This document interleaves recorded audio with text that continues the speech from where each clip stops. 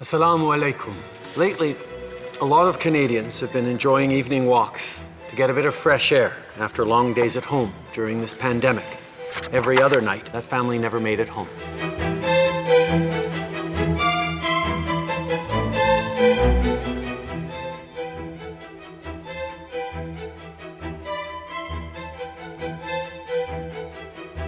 Their lives were taken in a brutal, cowardly, and brazen act of violence.